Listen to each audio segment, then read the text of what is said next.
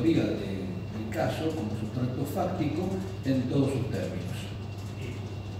Entendiendo la posición que tiene la Fiscalía, eh, no me encuentro más que nada a, resolver la presente, la presente causa. Eh, entiendo de que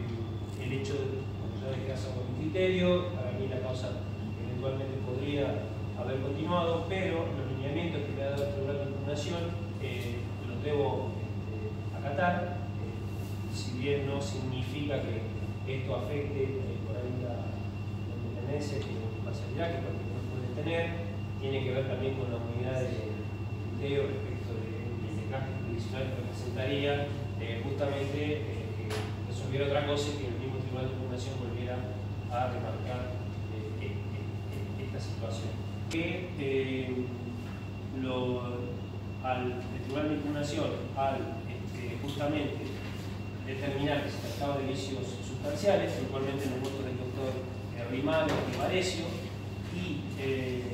que esto indudablemente, en palabras de ellos, afectaba claramente la, acusación, entiendo de que esto hace pasible lo que justamente establece el artículo 169 en cuanto a que tener la eh, acusación como no presentada, en el sentido de que estos vicios que contienen la acusación eh, la afectan e impiden que pueda proseguir la causa eh, y eventualmente se pueda llegar a elevar